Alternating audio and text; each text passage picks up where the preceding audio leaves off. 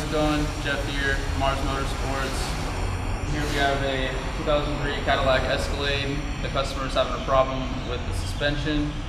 The service ride control light has been on, so the customer previously had the shocks replaced, upper, upper strut mounts, and nothing seems to have fixed the problem. So we're here taking a look at it with our computer.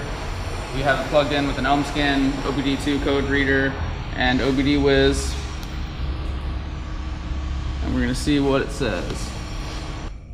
All right, so it seems that it isn't showing us any codes because it is only pulling the codes from the ECU and not from any other systems of the vehicle. We're gonna go ahead and take another look at this Escalade with the Autel see if it can tell us any more about this vehicle. This system is the MS908P, which is Autel's top of the line diagnostic software. We're gonna see what it can tell us.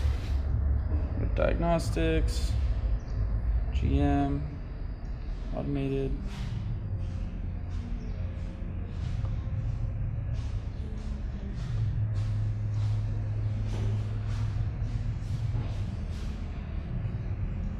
This is Correct.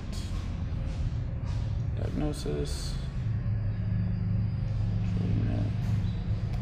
Take a look at the powertrain control module to verify that it tells us what OBD Wiz already told us.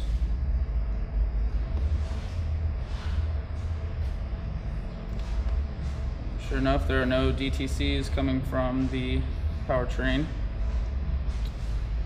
Let's take a look at the body control module.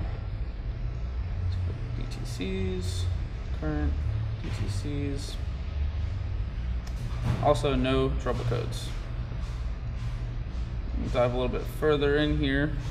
Heating and air conditioning, passenger presence system, no. Okay, ESC. ESC is electronic stability control, which this truck does have. And take a look at this. And we found something. C0660, level control exhaust valve circuit malfunction. Alright, so as we mentioned before, the customer has already replaced the shocks and sh shock mounts and had the customer came to a shop like ours that has software as advanced as the Autel MS908P, they might not have had to throw parts at the vehicle. They probably could have fixed the problem the first time.